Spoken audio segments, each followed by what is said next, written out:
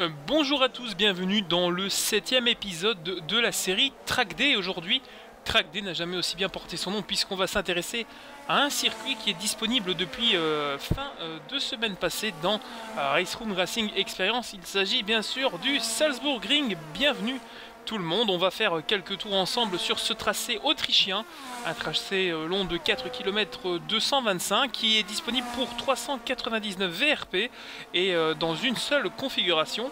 Un circuit qui paraît euh, assez simple hein, à première vue puisqu'il s'agit de deux longues lignes droites et quelques courbes, mais ces hautes vitesses en font un circuit très technique. le circuit du Salzburg, un petit peu d'historique, c'est un circuit qui a ouvert en 1968, qui a connu pas mal de différentes disciplines, mais surtout euh, la discipline reine en Allemagne, le super tourisme avec le DTM et surtout le STW dans les années 90. Euh,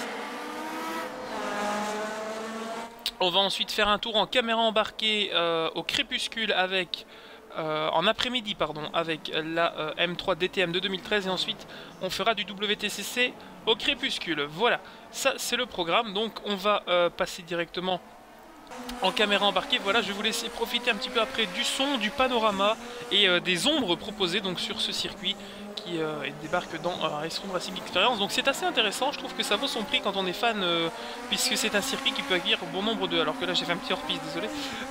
qui peut accueillir bon nombre de disciplines présentes dans la plateforme et ça reste un, circuit très bien fait, très bien réalisé, très bien modélisé.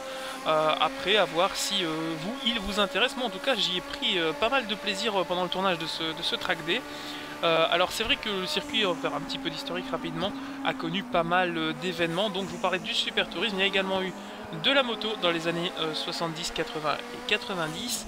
Et l'événement phare du tracé depuis quelques saisons, c'est la venue du championnat du monde de super tourisme avec le WTCC qui fait escale pour deux courses lors d'un week-end sur le tracé autrichien. Donc c'est vraiment sympa.